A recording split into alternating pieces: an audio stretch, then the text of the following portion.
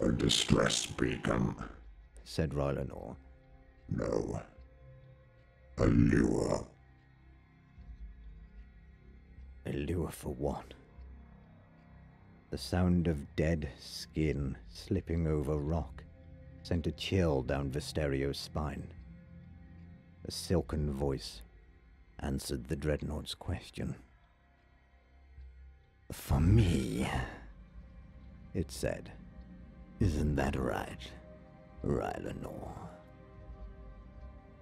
Visterio's mouth fell open as a towering serpentine shape emerged from the shadows of the cavern, multi-limbed, sinuous, and beautiful. Ivory white hair spilled across the shocking purple of the sculpted warplate,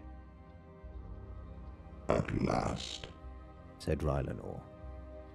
Fulgrim.